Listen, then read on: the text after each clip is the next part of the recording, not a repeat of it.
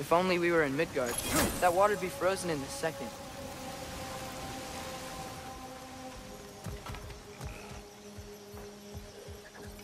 Brother, do you think freezing it would work?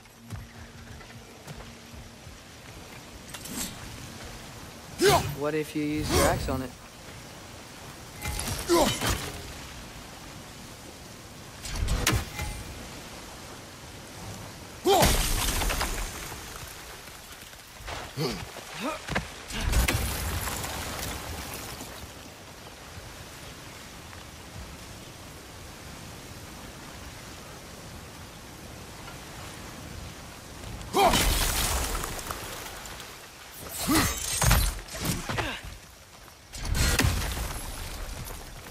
Looks to be an artifact from the Dwarven Resistance.